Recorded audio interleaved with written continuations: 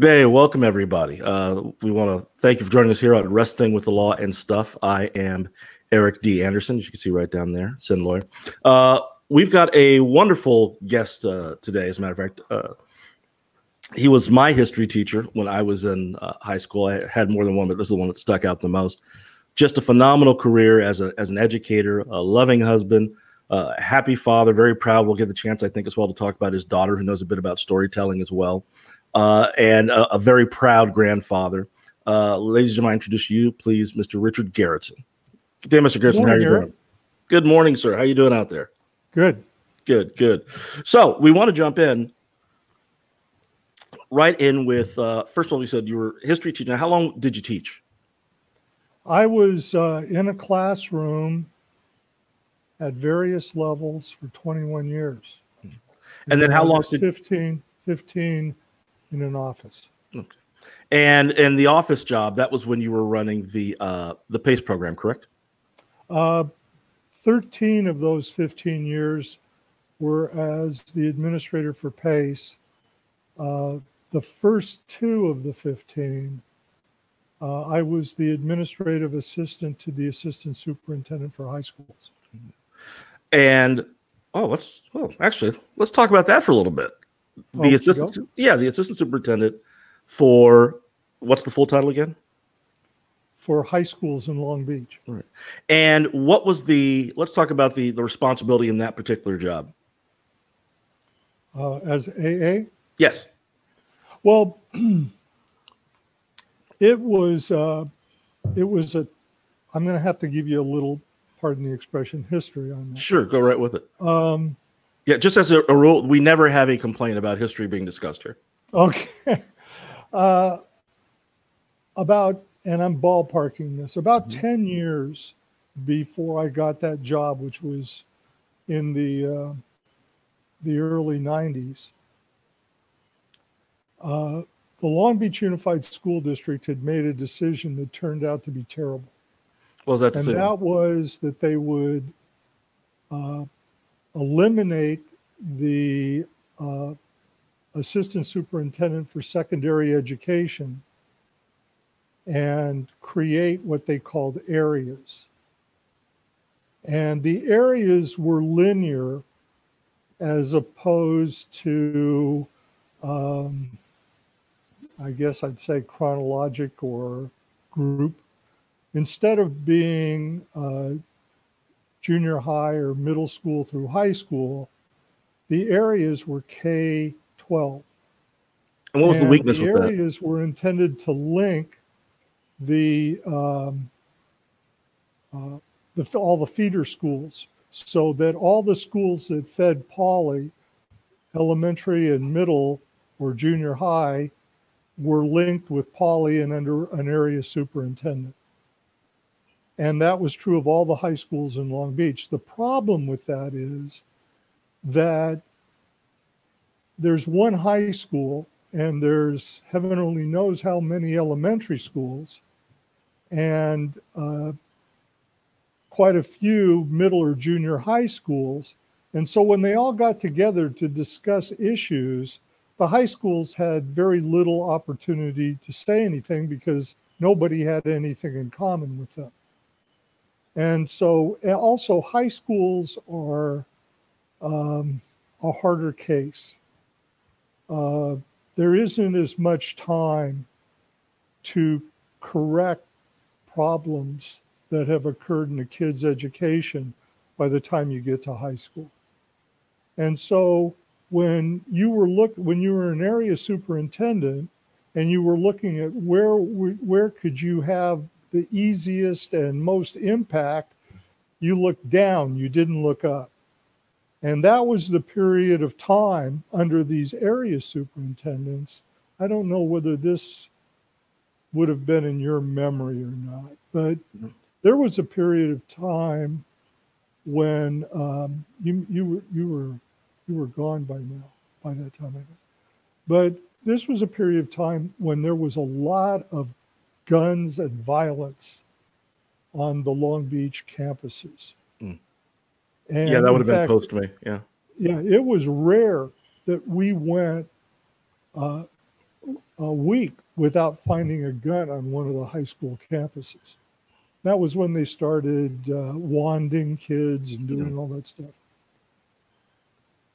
And after a while, they came to the realization that that the areas weren't working. That you needed a somebody who was solely focused on high schools.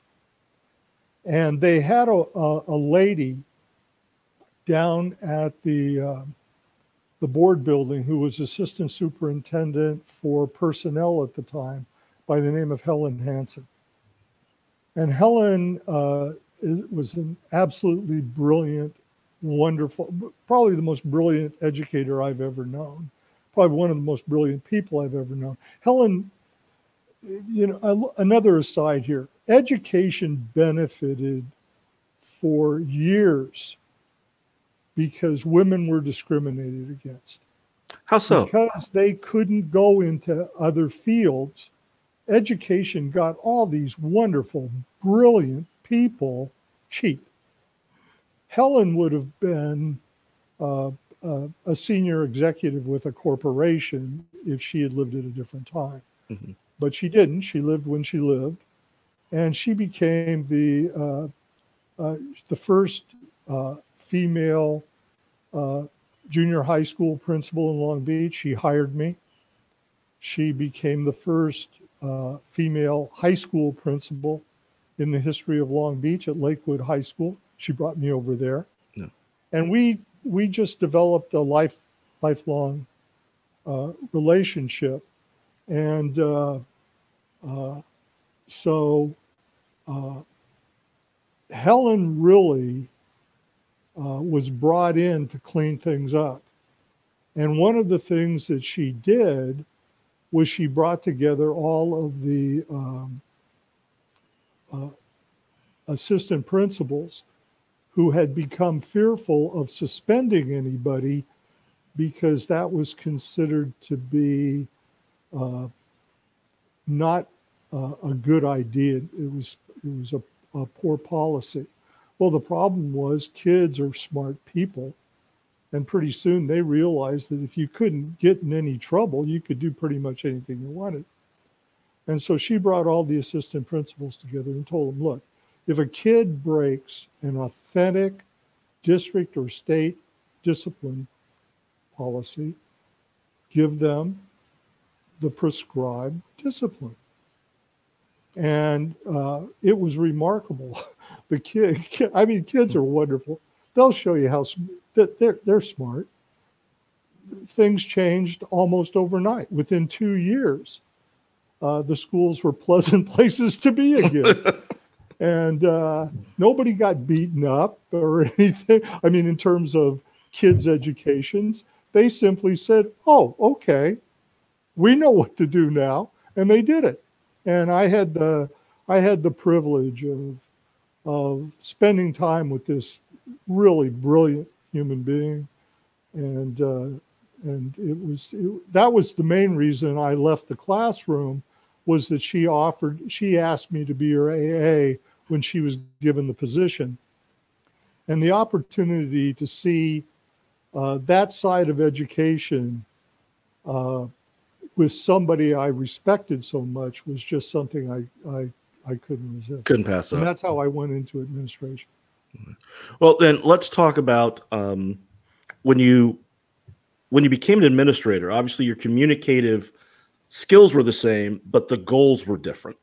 So now that you were dealing primarily with a adult audience as opposed to with the the student audience, how did you make that transition to be able to get one the information out they need to get out, but also to do it in a way in which you could get them on board? Well, you know, uh, I had the opportunity of of uh, of I was the I don't know whether you know this. I in fact I think you were in my first AP, class. I was, and uh, that was a, a, peculiar year in a lot of ways. Mm-hmm. Uh, back uh, back in those days, lots of people didn't know what AP was. And uh, I didn't really know what AP Yes. was. It's a lot more Uh, prevalent now than it was. Yeah. I yeah oh it's yeah, uh, but I th- I sort of when uh, when they asked me to be the AP teacher in PACE, I thought we were talking about it just an accelerated class. I Yeah. you know I hadn't had any. I mean my background up until this time that time I don't know whether you know it. I was uh, uh, I had I had made my bones with remedial kids. Well, that's quite a transition. Yeah. And um, in fact, the, the, I think the re- they, they picked me for a couple of reasons to to take the pace position. One was I think everybody else turned it down, Really? and uh, yeah, it was hard getting AP. Uh, it was hard getting teachers for pace. You guys scared you and and and pace parents scared teachers. Okay, that and, uh, I could see that. Yeah. and there was a, also a lot of teachers were smart enough, even though they wouldn't admit it. I mean, they I'm not saying they weren't admitted, admitting being smart, but they were smart enough to know that while they were getting some a wonderful population to teach, it was a lot of work. Yeah. And uh, you know, you could you you know, for example, if when I assigned you guys um, uh, an essay, hell, y'all wrote it, so I had to read them all. Whereas in the regular program, a huge percentage of the kids didn't write them. So you know, and they certainly didn't write as much as you guys did. So it's a lot. It's a lot more work if you want to do it right. Yeah. But at any rate, that first year, uh, I don't know whether you were one of the ones who were immediately disappointed when they saw me standing in front of the class, but most of the kids and their parents were very upset because they had expected to get Roger Wyatt, who had been the only AP U.S. history teacher the program had ever had. Yeah, he was And legendary. My my older sister had had him uh, Okay. in pace. So yeah, that was we knew the name, but I can't really say that. At least on my end, I can't say that I was disappointed. It was just that okay, it was somebody There were a lot of people, Eric, who were were very concerned. very vocal. Yeah. And uh, I remember uh, that when we came back, when we had our first, um, what do they call it? Is it, uh, I've been out of, is the first one back to school night I I and the second one open house? Anyway, it was, it was the one they had in October. Okay, that would have been back. Uh, oh, All that the- would have been back yeah. to school. Yeah.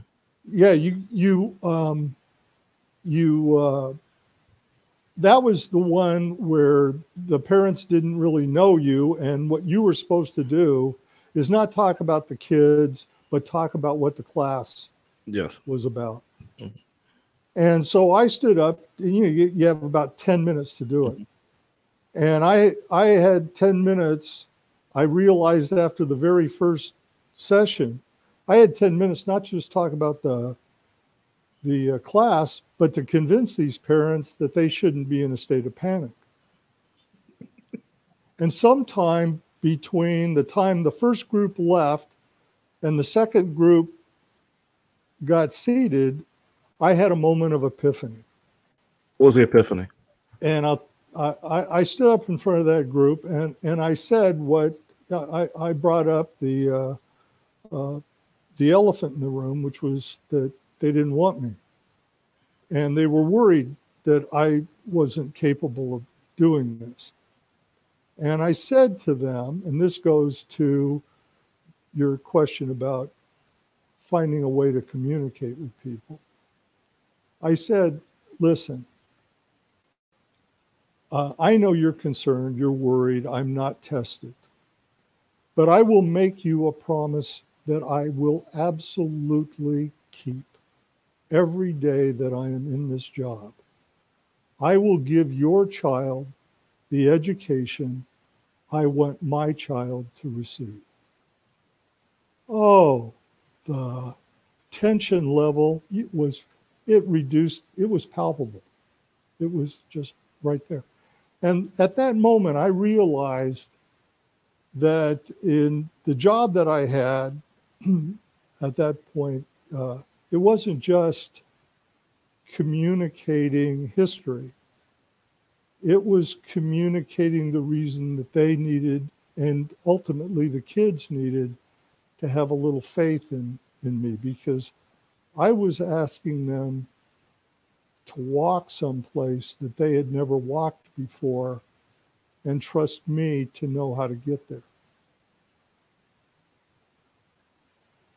I'm I'm slightly biased here, uh, but I would have to say that I think you you definitely pulled off that promise uh, all the years there, uh, as I think you uh, you saw. It. But you were also able to because you instilled that, and in my teaching career, having dealt with a variety of people, I, I understand your pain of dealing with people like me because I, I taught several people like me when I was in uh, in the teaching profession, uh, and we're not easy. We're not, uh, and our parents aren't easy. But I think that one of the things that you've just gotten across is the whole idea of whatever the job is, it's not just what the job looks like. It's not just teaching, it's something else. It's not just talking about the law, it's something else. And I think, and that's part of the fascination, is when you get into that profession and when you start to discover that there's more to this than just what you thought, adjusting to understanding everybody's different I hate to use the word agenda, but kind of everybody's agenda. Mm-hmm. Yeah. And how long did it take you to pick up on that?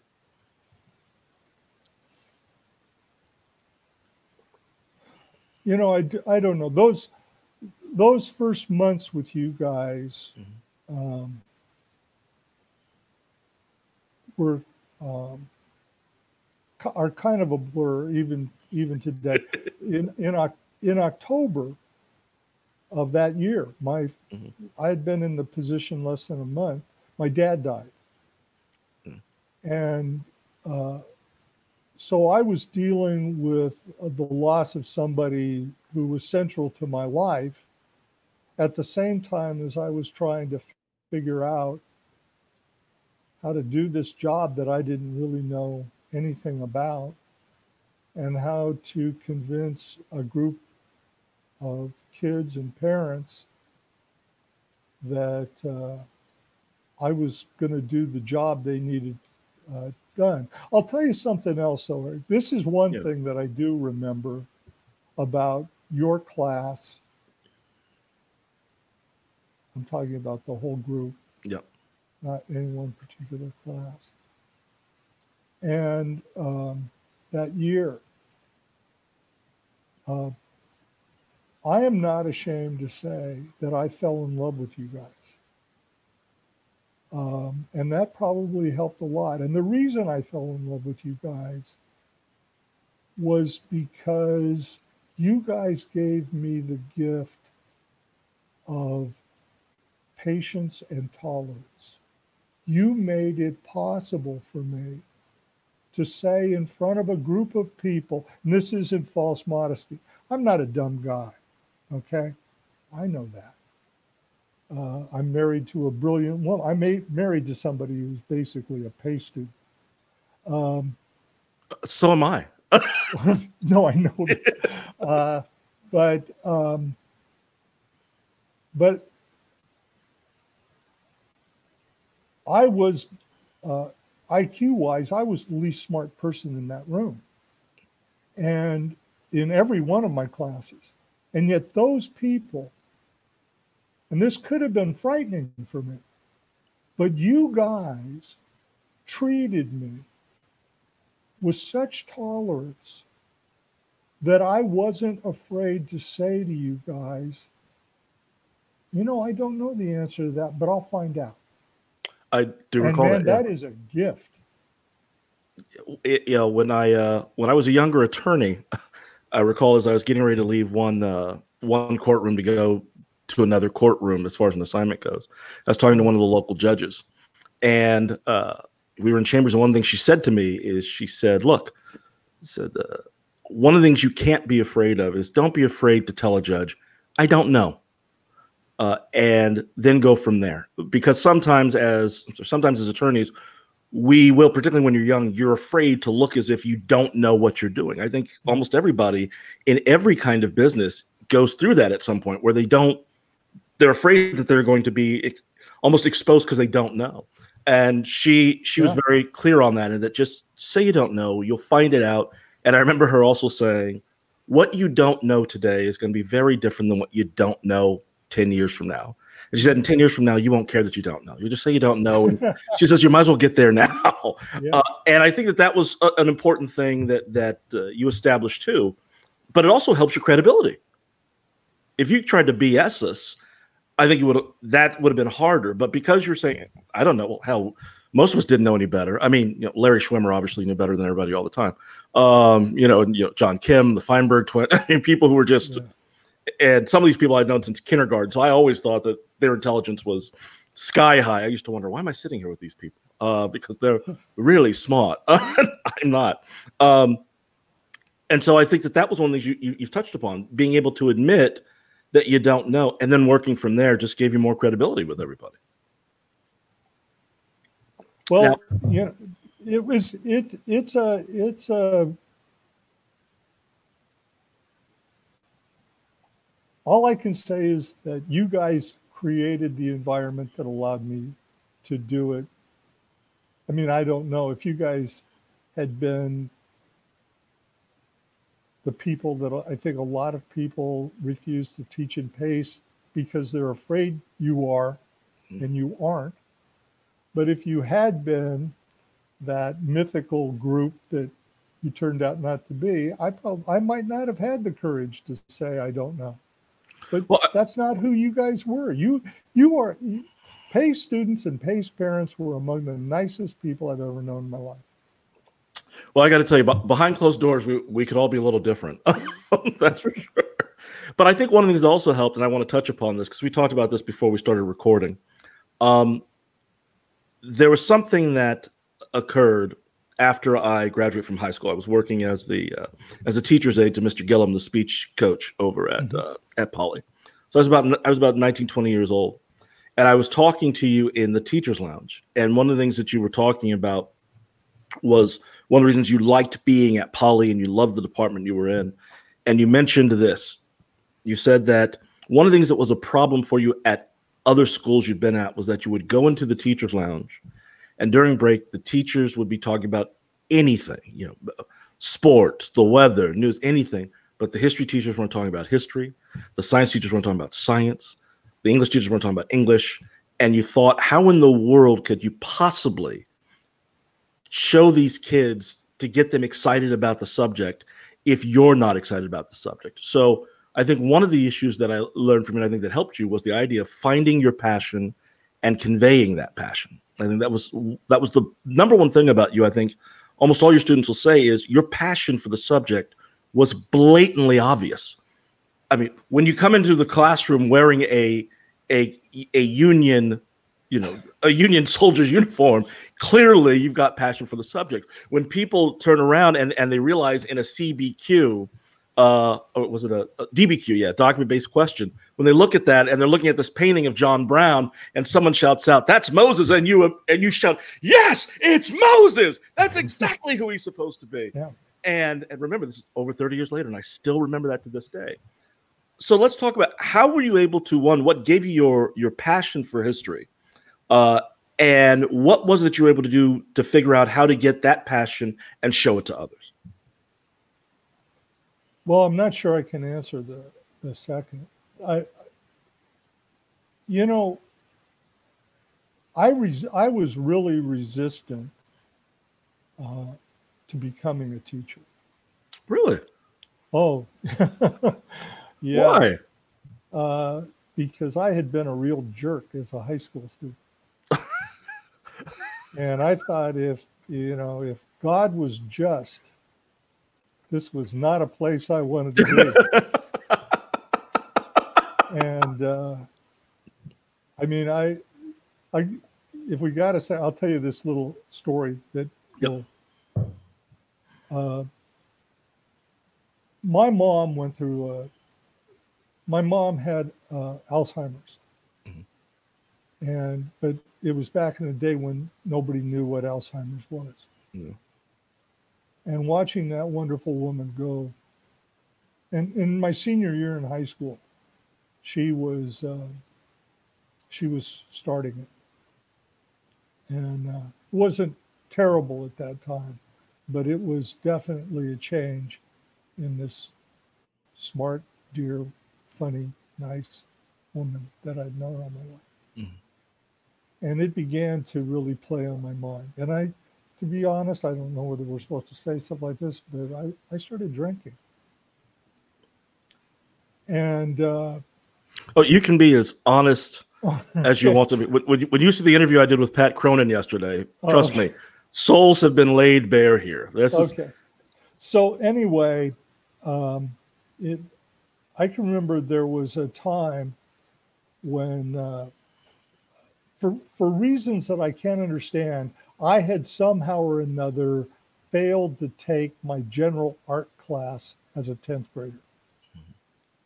And so there I was in my senior year with all these 10th graders taking an art class, and I was drinking.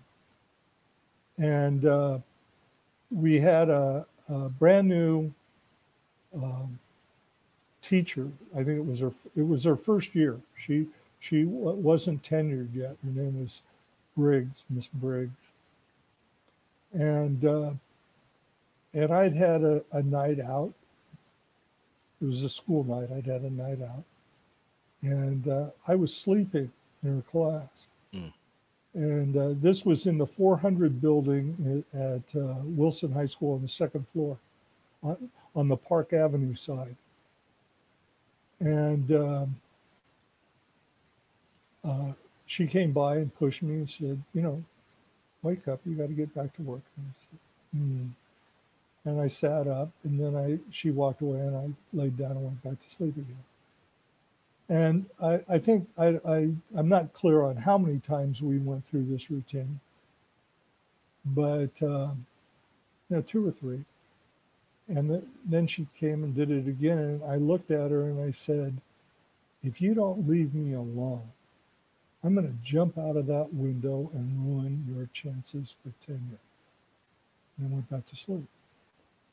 Now, years later, Miss Briggs came to work as the art teacher at Lakewood when I was a teacher at Lakewood.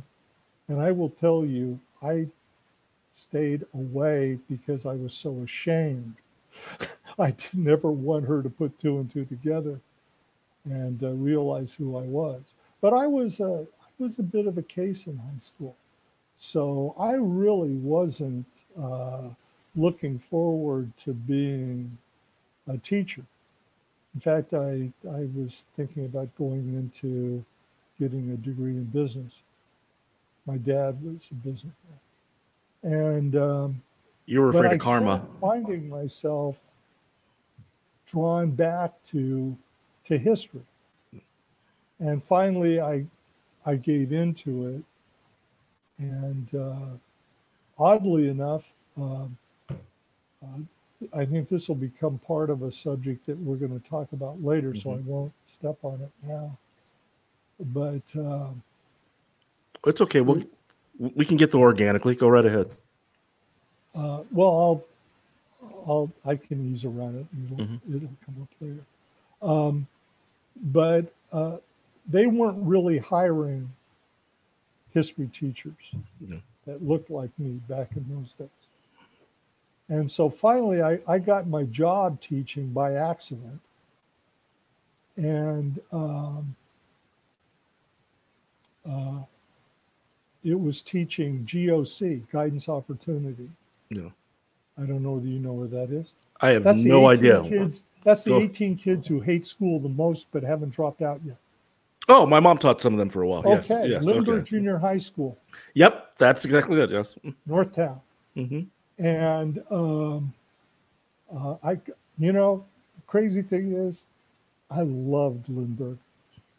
Uh, and um, then because I, I was a successful guidance teacher and uh, th- they took me out of it because it was considered aberrant.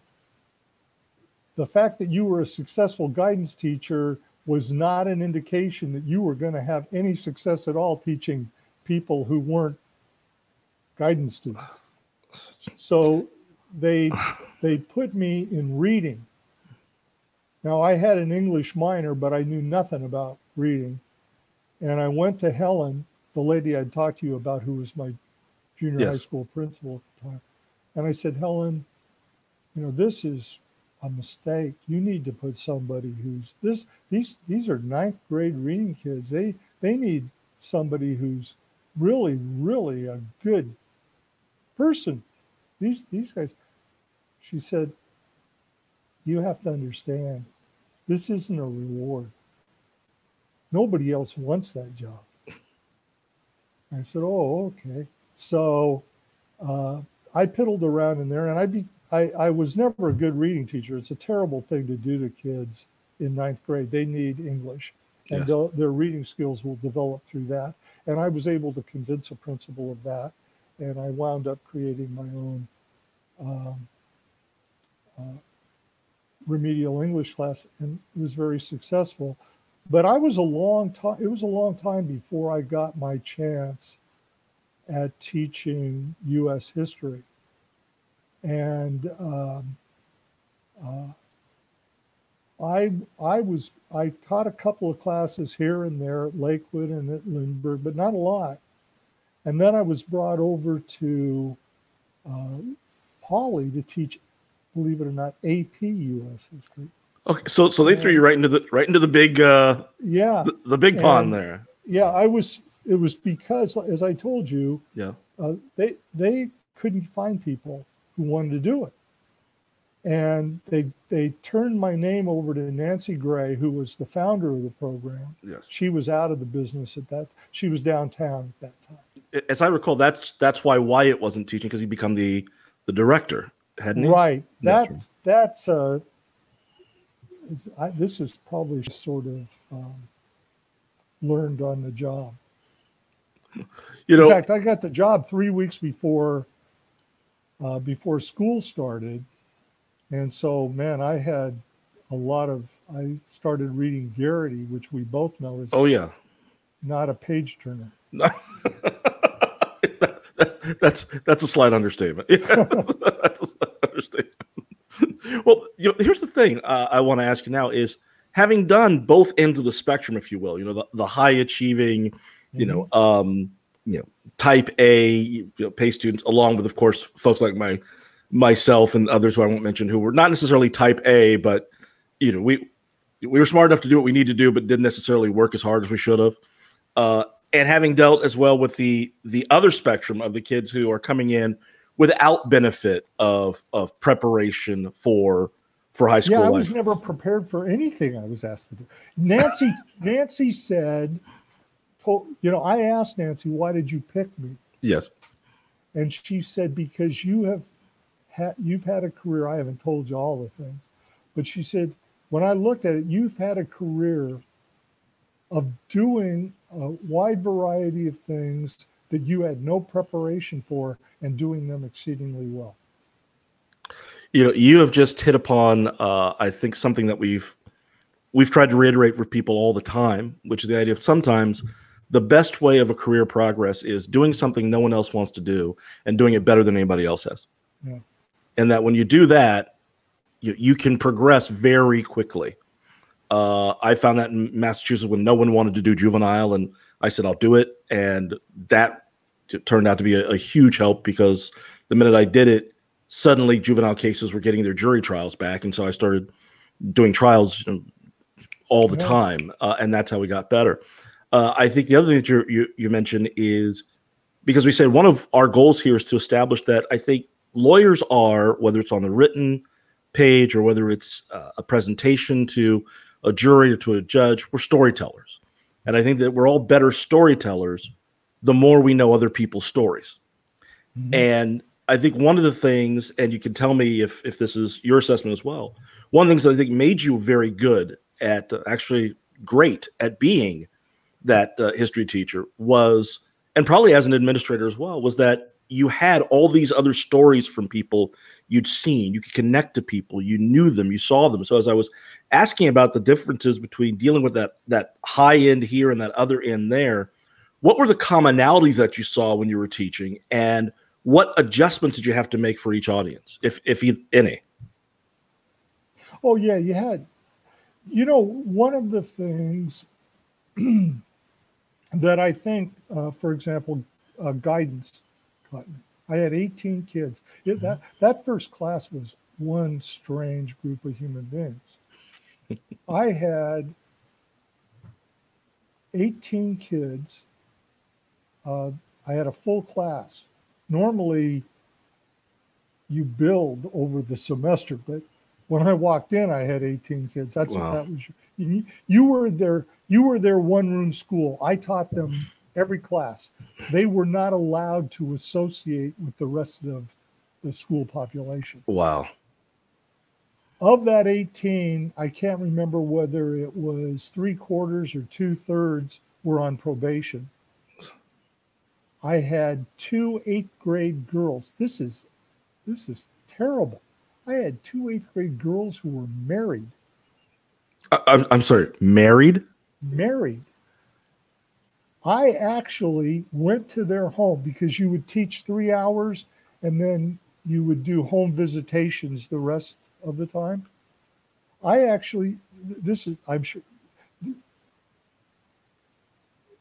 You do you remember federal survey cards? Yes. Yes. Okay. I had to I had to go to their different homes to meet with their husbands to fill out the federal survey cards. Were the husbands around the same age or were they substantially older? No, they or? were probably under 20 or okay. 20 or under. They weren't like, you know, 35 year old men or something. You know, yeah. They were. Was there a child adult, involved? They were adult kids. Yeah. You know? Yeah. But, was there a child uh, involved usually? I never saw one. Okay. So I couldn't tell you. Yeah, that's and that's a surprise. they, the girls, the girls, quite honestly, dropped out in the first. Each of them dropped out in the first quarter. Um, you know the, which.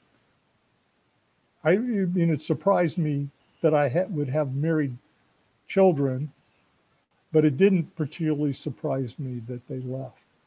Well, no, I mean, once they're married at in eighth grade, it's pretty obvious, you know, kind of the track that's being created for them, yeah, not that they're creating themselves. They're going to have a, a, a row to hoe, as they say. Yeah, that had as but, a teacher that had to be extremely disappointing because what could you do about it? There's nothing you can do about it. No, and uh, but one of the things that I found with these kids, I won't say it was with the the married girls who I didn't really get to know all that well. But was here were these kids that I think most people thought they were pretty much losers. And it turned out I liked them. And I thought most of them were actually pretty smart. And uh, so there was a part of me, I think, that those guidance kids taught there's a lot more to people than what's necessarily obvious. So find it. And um, and that that kind of served me well throughout. And then you know I went and uh, uh, here's am I using up too much time? Absolutely not. No, no, no. You um, you keep going. We have plenty of uh, plenty of time here. Go ahead. There was uh, they they moved me into uh, uh, reading because they didn't want to tenure anybody out of guidance, and so I did that, and I I can remember that uh, that my boss Helen, uh, because I was uh, non tenured, I was being what they called stalled every year, evaluated every year. Yes. She called me into her office for my uh, my Stull evaluation write up that she was going to evaluate me on the basis of. And she said, um, Would you uh, do me a favor? Would you? Um, would you agree to write down as a goal that you will achieve one month's growth for one month's work. And I said, okay. She said, no, this, she said, this is not a trick. She said, the reason I'm asking you is most people won't agree to that. And uh, she said, but just as a goal, I won't punish you if you don't achieve it, but just as a goal, would you? Put? I said, sure.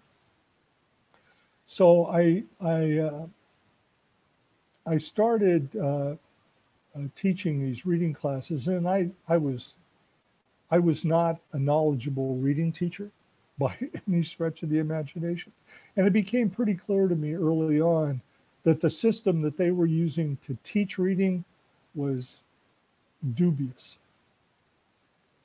So there came a time when these kids had to take some state test uh, something like the California Achievement Test or something. I don't remember the name. Yeah, I remember those. But you had to pass it before you could graduate from high school, and you started taking it in middle school, junior high in that case. And these kids had not passed it, none of them. None of them. And so, in, for reading, so I can remember I gave they used to give us practice tests that you know we could so the kids wouldn't be afraid of the test of not knowing what the test looked like. Yeah. So I, I can remember I gave them one of the practice tests, and it, it was apparent to me that they were just blowing it off.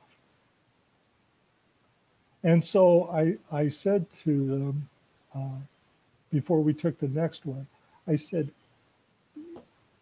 How many questions do you have to get right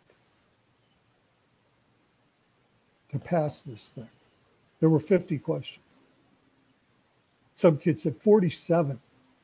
I, I said, no. No. They said, more? I said, no, less. Well, 45. No. And we went down, you know. Yes. I said, you need to get less than 50%. Maybe 24 out of 50. Huh? Honest.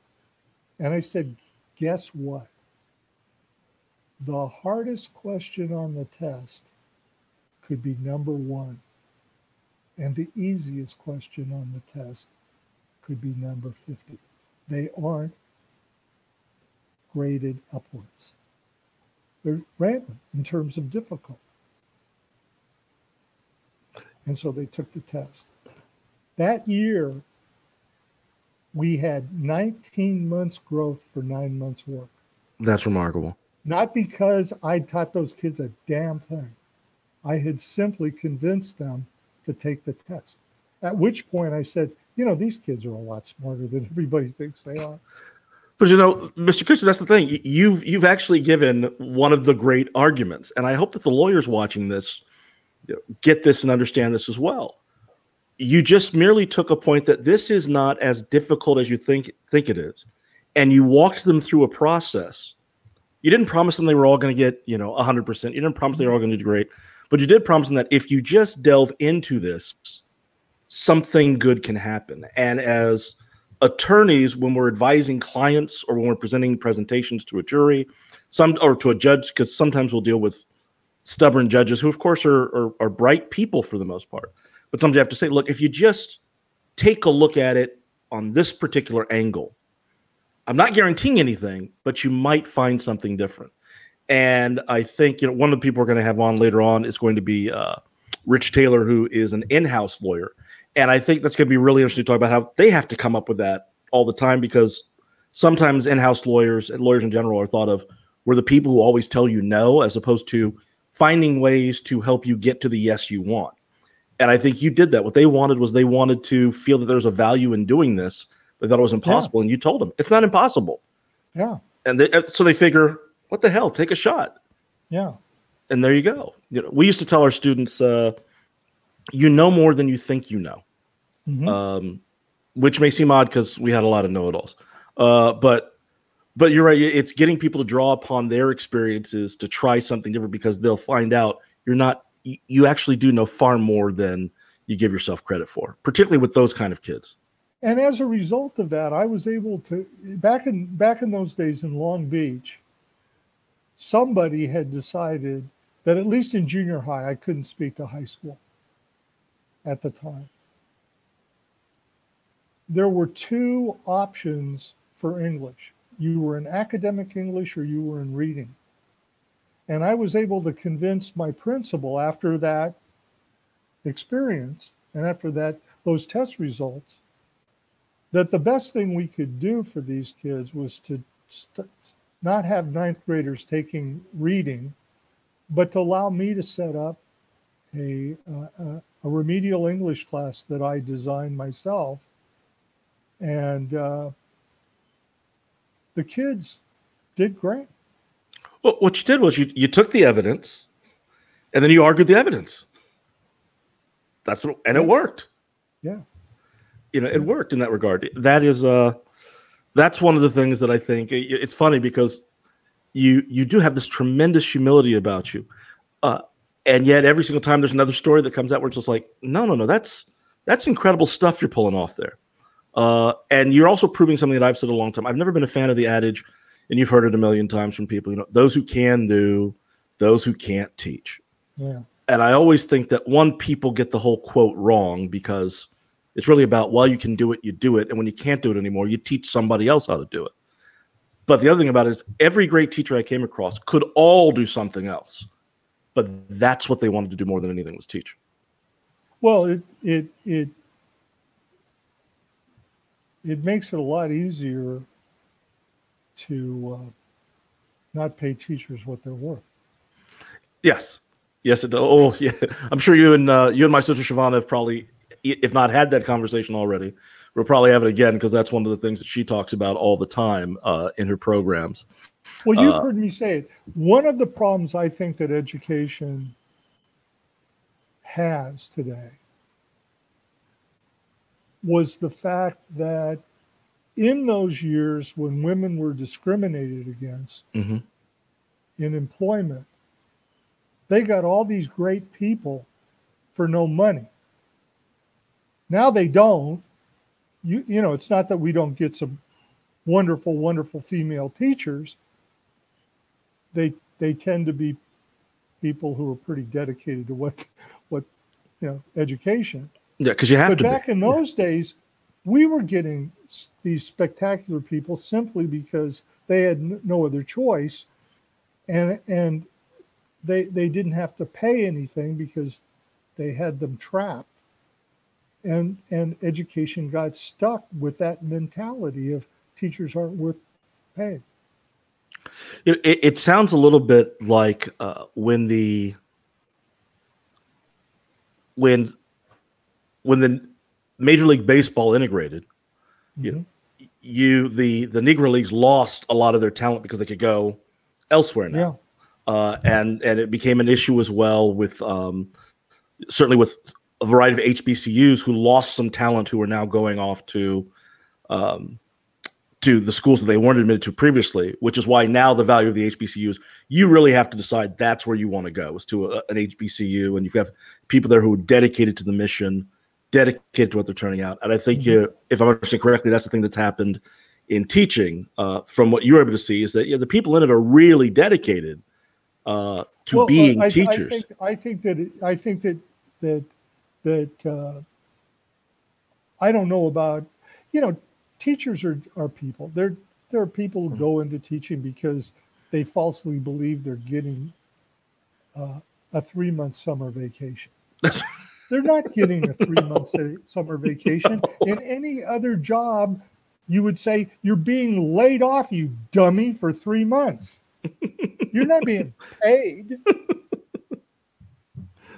But you know, you know, you're the first person I've heard actually put in those terms of you're being laid off for three months. Yeah, that's what you are. You're laid off for three months. Nobody's paying you.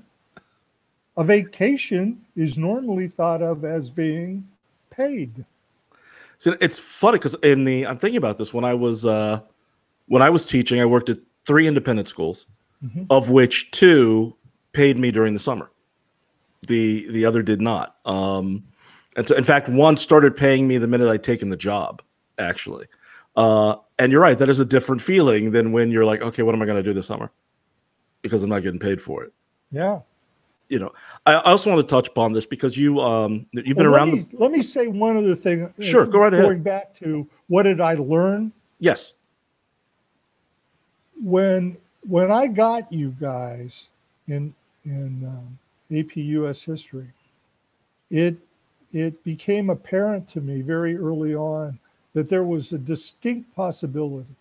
I didn't know that it was true, but there was a possibility that you guys might not be uh, the most efficient uh, writers of expository work.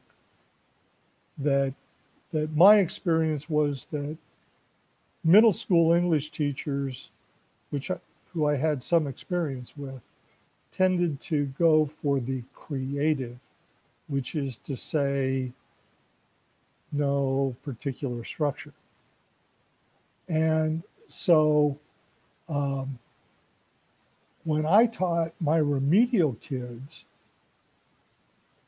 how to write, I didn't do creative writing, I did expository writing.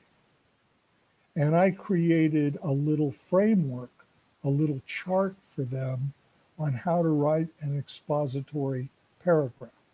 Now, if you can write an expository paragraph using that framework, it's that's immediately transferable to an expository essay.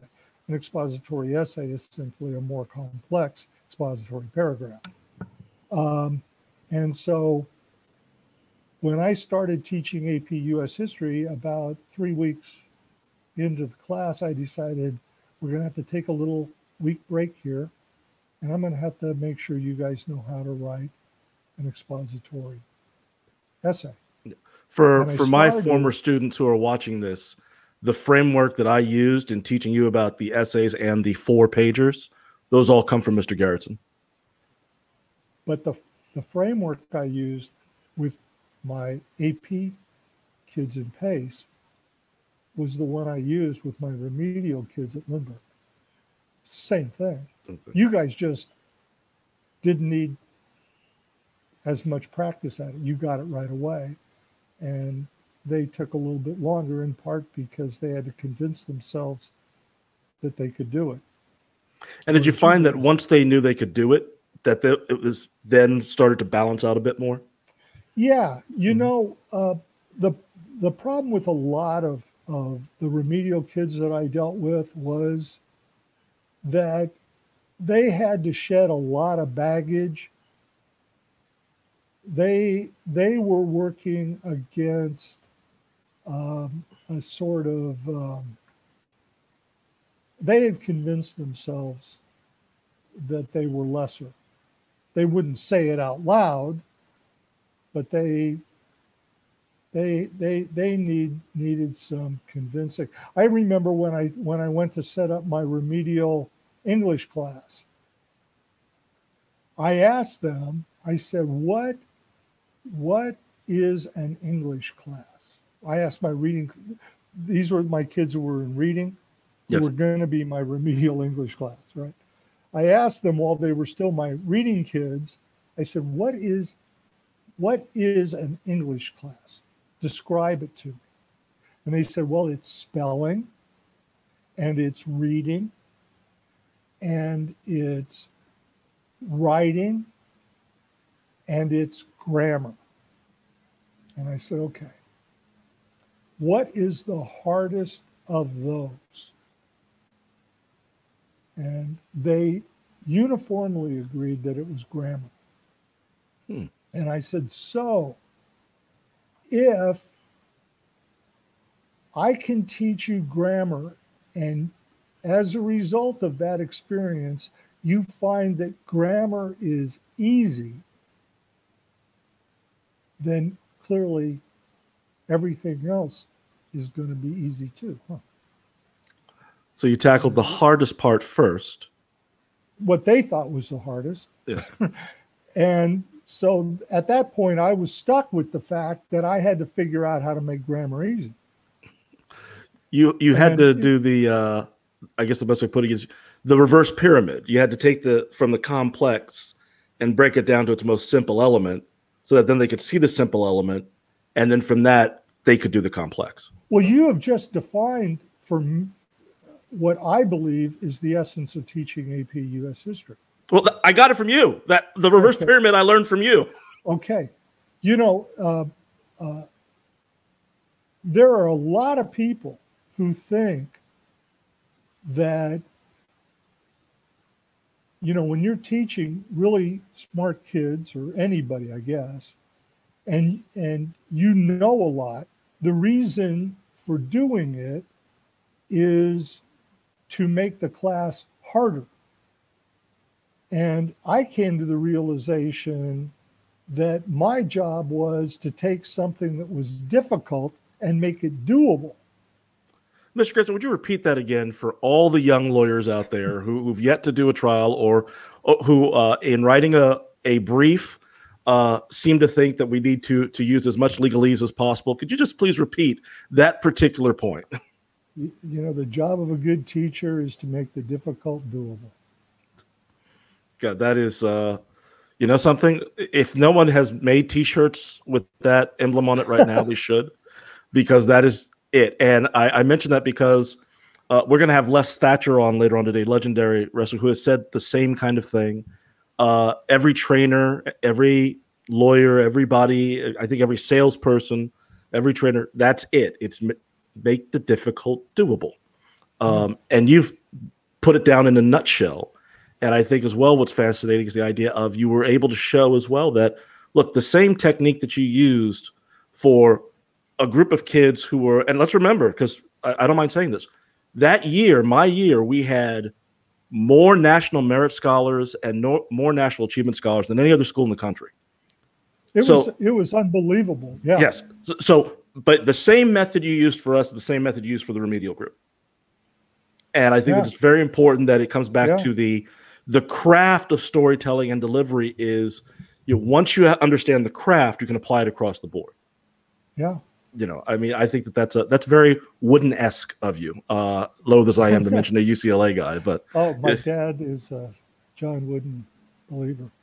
Absolutely, you know, uh, uh, one of these days, folks, when we get the chance, we'll talk about the uh, the wooden pyramid of success, which is uh, probably about the the best life work you could you could possibly come across. Uh, uh, even better than the Bible, but don't you know, worry, he sticks some Bible stuff in there too. A few years ago, this is a real uh, aside from what we're talking about but a few years ago, a guy across the street, Rudy, was the uh, the guy who managed Pauley Pavilion. That was a kick.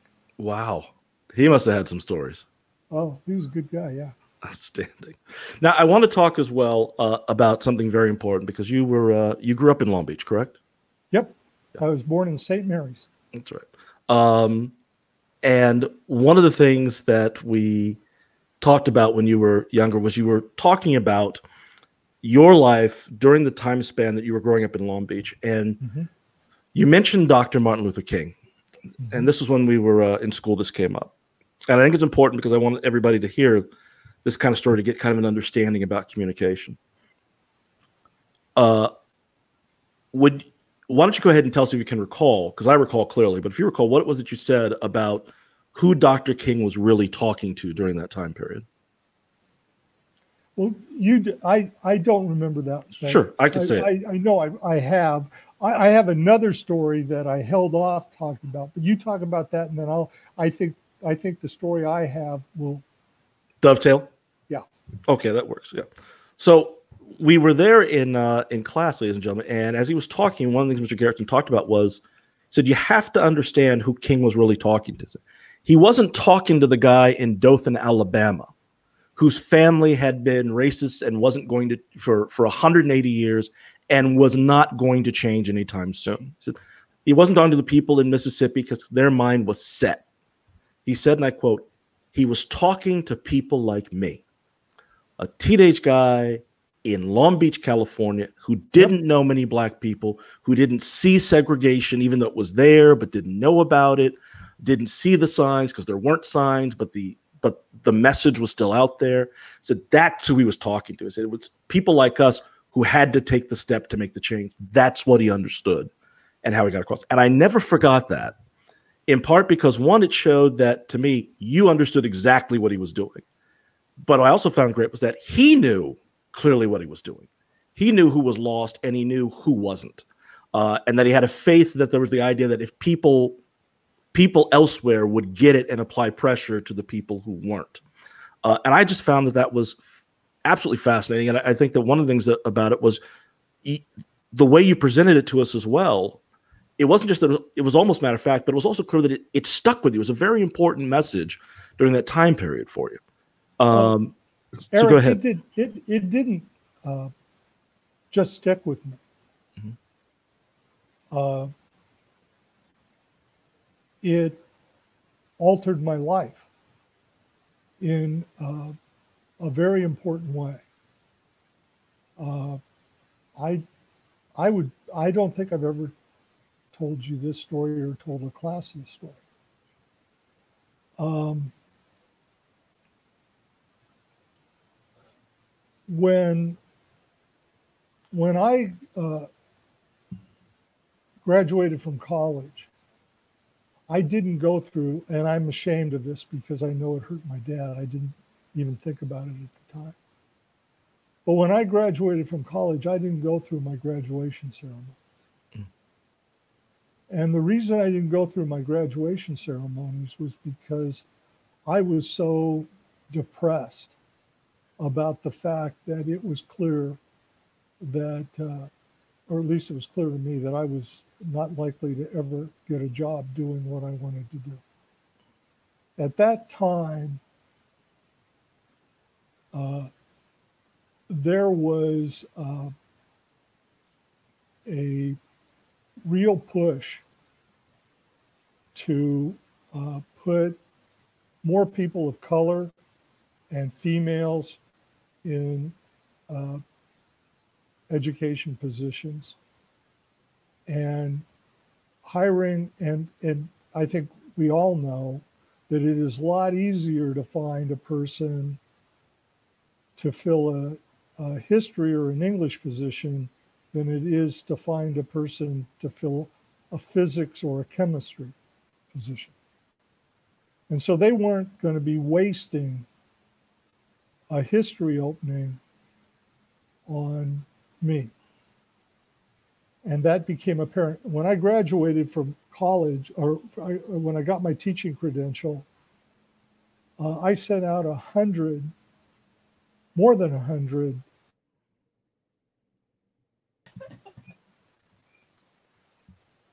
Anyway. Okay. All right. Yeah. So go ahead, right where you were saying, uh, and then I'll just dub it in. Okay anyway, this the story I wanted I wanted to tell you about that mm-hmm. uh, uh, is associated with Dr. King is this. Uh, I think that what Dr. King did for me as that white guy living in Long Beach, and I don't know why I was one of the lucky ones who heard this. I mean, you don't know. No but I was going through a time when I could have become a really bitter human being. Uh, because it was going to, I had been told mm-hmm. that a guy like me was not going to get a job in education. But because of Dr. King, I bumped into somebody who became central to my life and that is a man by the name of John Lewis. And uh, I began uh, reading about this guy that most people didn't know anything about at the time. And uh, I became fascinated by this man who put himself at risk for something larger than himself. Um, there is, I wish I could remember the passage, but there is a, a, a, a verse in the Bible that, that ends with say, saying, Send me. And I am absolutely certain that there was no time in John Lewis's life where he said, "Well, somebody's got to get beat up, I, I, but I don't want to be him," or "No, I want to be him." He didn't want to be him. Nobody wants to be the guy who gets beat up, spit upon, degraded, and nobody wants that. But John Lewis said, "Send me." And for reasons that I can understand, that was a message that resonated with me at a time when I could have become bitter about my lack of employment opportunities. But instead, I saw that moment through the eyes of John Lewis.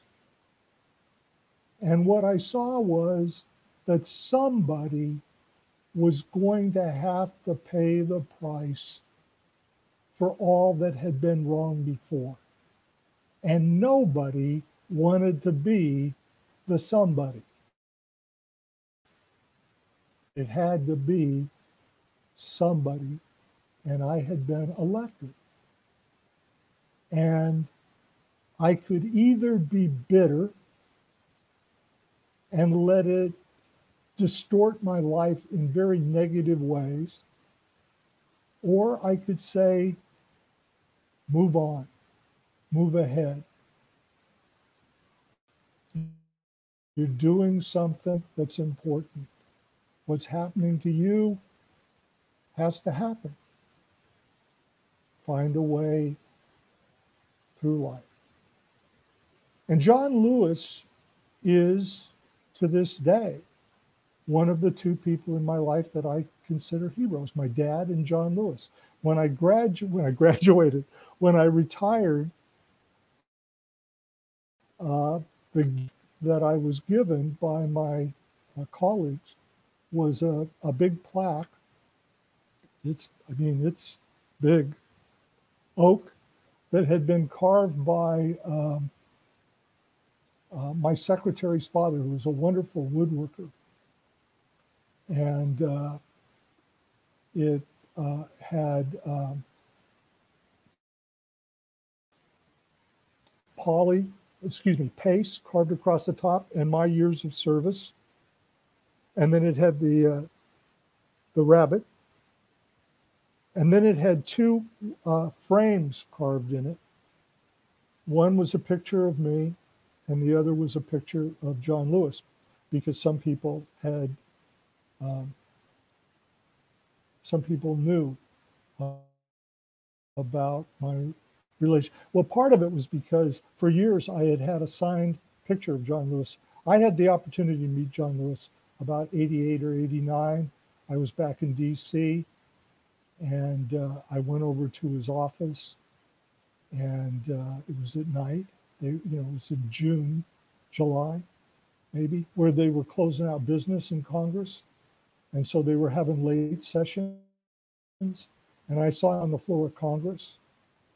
And then he left. And I thought, wow, I wonder if he's going to his office. And so I went over to his office. And he was standing in his, the lobby of his office talking to some staff. And, we, and I said, I apologize for interrupting. But would you let me shake your hand? It would, it would means so much to me. And he walked over and we shook hands. And he said, Come on in, we're not doing anything. So we went into his office and yelled out to his aide, one of his staff members, uh, uh, bring us some Coke, uh, Coke, Cokes and peanuts. You know, they're Georgia, Cokes and peanuts. And uh, he talked and he he talked to me about his meeting with uh, Philip Randolph. And uh, it was, I didn't make as much of the meeting as I as I as I wish I had, simply because, to be honest with you, I was like starstruck. And uh, but at the end of the meeting, I he said, Would you like a picture? He, he could tell. And I said, Yeah. And so he told the aide to bring a picture in. And the aide brought in a black and white for him to sign. And he said, No, get him one of the color ones. So the aide cut it. And, and that was that picture was in my office on my bookshelf for for years and now it's it's part of this thing that I was given for my retirement and it has a, a prominent place in my home office these days. That's John fantastic. Lewis made a lot of difference to me and who I became. Well, then we we owe another debt to uh, John Lewis. Then, uh, particularly those, particularly those of us who had the joy uh, of of being taught by you. I think that uh, one of the great things we learned here is the old, uh, as it says on the walls at Poly High, you know, enter to learn, go forth to serve. And uh, Yeah. we we had the great benefit of learning uh, from you. Uh, many of us went on to serve in a variety of capacities, and so the legacy that uh, Dr. King and John Lewis have, and the impact it has on you, you had it on us. As you know, several of your former students teach at Poly High either now or have recently, and I'm sure the day will come when some of their students Yeah. will do the same. Uh, thank you so much for taking this time to speak Eric with us. I- wonderful. Thank you. I'm sorry we had the little break there. Oh no, that's no problem. You know, these are the uh, you know, technical things that we'll you know deal with and go through as I go along. At some point, I'll probably hire a producer who can fix all this stuff. Uh, you know, because I'm I'm half clueless. Uh, this, I don't. I don't completely. You saw my, my wife. uh, but uh, again, thank you so much for the time. Thank you so much for the time, not just here. Well, thank you for asking me. I, I I was thrilled. Yeah, your story is completely fascinating, and and I'm hoping it's something that people can will be able to draw from and use. And I hope we get a chance to have you as a guest again. Thank you, Excellent. Eric. You have a a good stay at home. well, actually, I'm- well. I'm in the office at the moment. Oh, okay. yeah, so, so my office is only seven minutes away from my house, so I'm able to, to come on uh, over here Oh, and get some work done and, and Well, go that say point. hi to your lovely wife. I shall. I shall. I will make sure to say that to her when I see her when I get home. Thank you again, Mr. Garretson. Okay. Thank you so much. Mm-hmm. Bye bye. Uh, so, as you saw, folks, uh, just an incredible human being, uh, Mr. Garretson is, and just a fine example of the the finer parts of, of education. And as you saw, there's a passion that he has both for people, and a passion that he has for stories, and a passion that he has for history and teaching, and that that comes across completely. And uh, I hope as well that in the future we remember those kind of things, and that we're able to draw upon our passions draw upon our love for people and draw upon all of that to make us better attorneys, better storytellers, everything that we do. So, with that, we want to thank you for joining us here again on Wrestling with Law and Stuff. And we want to remind you that whatever it is you're wrestling with, let's wrestle with it together. Thank you.